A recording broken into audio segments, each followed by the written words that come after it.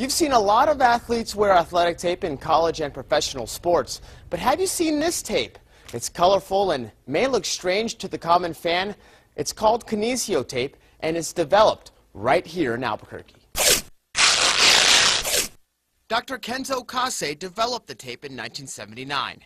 It's used throughout the world in multiple sports, making a big splash in the 2008 Beijing Olympics. A huge turning point into where it, it wasn't kind of behind closed doors. From bum shoulders to bad knees, kinesio tape works on the muscular and neural systems in order to alleviate pain in those targeted areas.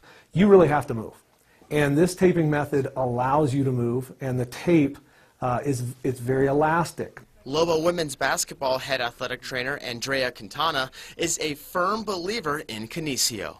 Once you try it for yourself and you see that it actually works and does help you out, then it's like it's an eye opener. It helps. Um, before we did this, my knee was way bigger, so it's helping a lot.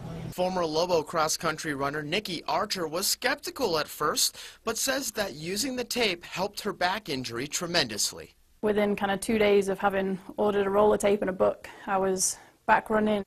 Kinesio tape is spreading like wildfire throughout the world. Trainers, instructors, and doctors in over 80 countries are using it.